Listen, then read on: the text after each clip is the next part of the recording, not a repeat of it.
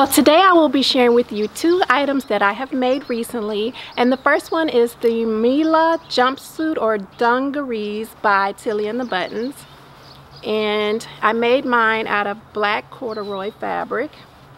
I did not put the front pocket on the bib area but I did put the two pockets in the back and I purchased all the hardware pieces from Joann Fabrics and then I just made you know the regular pants length and I like these a lot. I really love the way they fit. They're not too tight on me and I'm happy with them. They're very comfortable and I love anything that's one piece like jumpers and rompers. So when I saw this I knew I wanted to give it a shot. So yes this is my first make and then I will go ahead and grab my second make.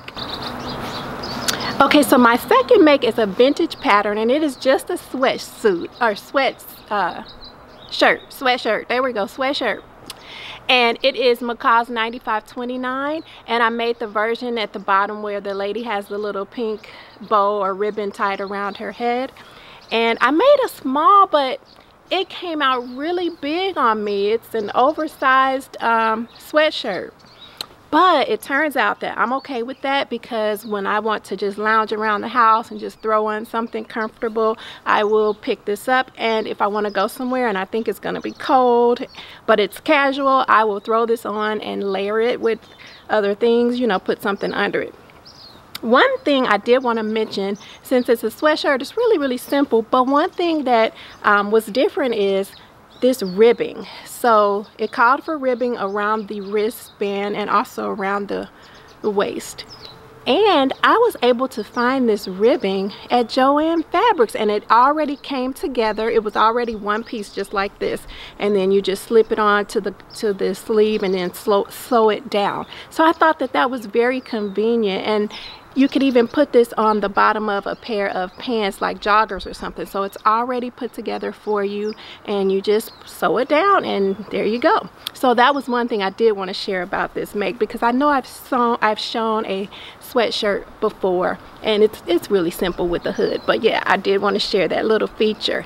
And I will go ahead and show you what these garments look like on and just to let you know I was invited to the beach and I thought it was going to be really cold so I grabbed this and some jeans and some tennis shoes and I just threw this sweatshirt on and I went to the beach and I'm going to show you some of that footage so you will see that in these clips.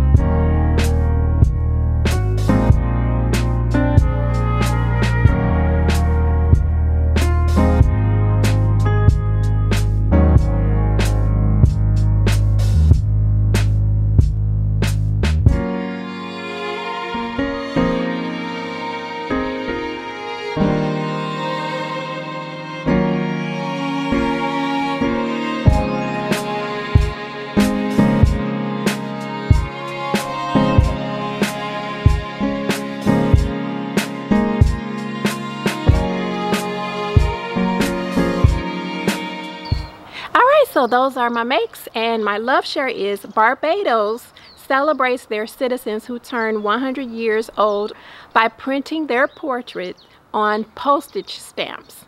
I thought that was so interesting and really, really cool. So yes, thank you for watching. I hope you enjoyed this video and you will see me in the next one.